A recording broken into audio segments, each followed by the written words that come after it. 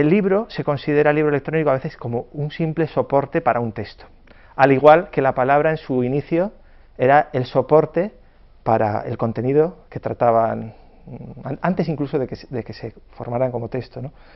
Entonces eso me resulta muy, muy chocante, muy curioso, porque mi relación con el libro, en cuanto que soy autor de, álbumes, de álbumes ilustrados, eh, es con el libro como objeto. O sea, para mí el libro como objeto es casi una escultura. Tiene una presencia, tiene unas posibilidades de lectura que no, van más allá del simple contenido. O sea, yo no entiendo el libro, los libros que yo hago, los libros que yo miro, como un contenedor de textos, de palabras. Yo soy ilustrador, soy autor, manejo el libro como un dispositivo teatral. Es una escenografía en la que pienso que el lector se va a enfrentar con imágenes, con textos y va a interactuar de una forma compleja, eh, avanzando hacia adelante, hacia atrás, parando. Yo he oído este comentario a algunas personas.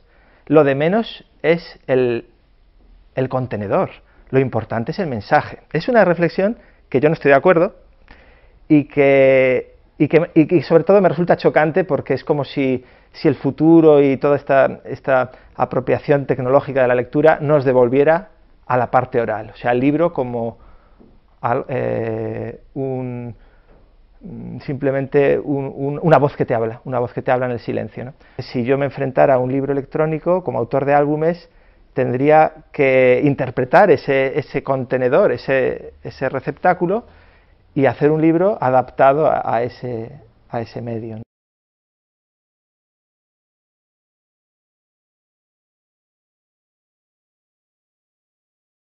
Yo ahora eh, me enfrento con un soporte electrónico, una tableta, no sé, un ordenador, y tengo que contar algo adaptado a ese formato.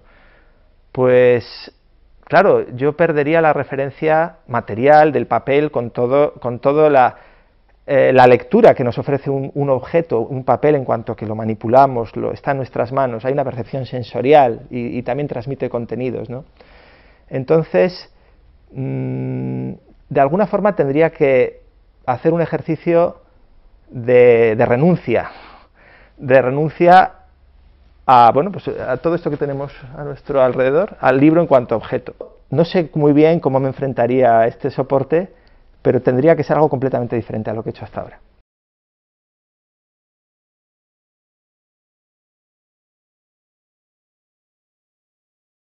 Es una forma de comunicación con otras personas que, resulta, resulta, muy interesante. Viene, viene a, ampliar eh, el, objeto libro hacia, digamos, un paso más allá, eh, porque al final el libro es solamente una parte de la lectura, la lectura continúa y, bueno, no solamente a través de Internet, a través de encuentros con lectores, talleres con, ilustradores o con niños o con cualquier público, lo que, lo que he descubierto es que esto eh, amplía el, el campo del propio libro, lo amplía, lo extiende hacia, hacia otras experiencias.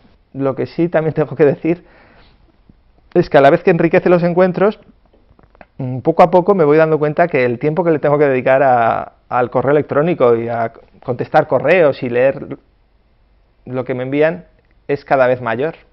Entonces es un poco, es un, poco un arma de doble filo.